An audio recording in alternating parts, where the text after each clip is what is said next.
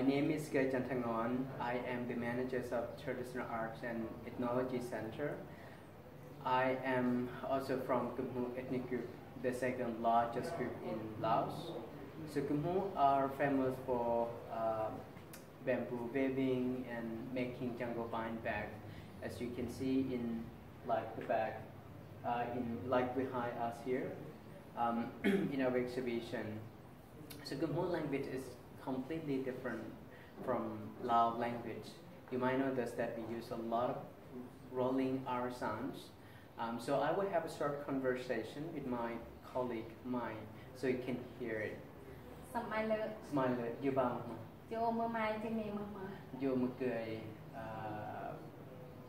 Yêu khi là khả năng mơ. Ờ, mười rồi bạn kịp bao nhiêu đêm? Bơ ở mai trọ khó bao nhiêu. Okay.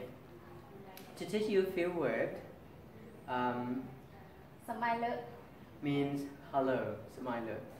Do you mean Muhammad? means what's your name? Dume Muhammad.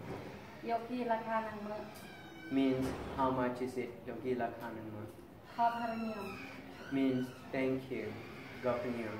So to learn more about Kmhmu language or Kmhmu um, ethnic group, uh, you can come and visit us at Traditional Arts and Ethnology Center in Luang Thank you, Governor.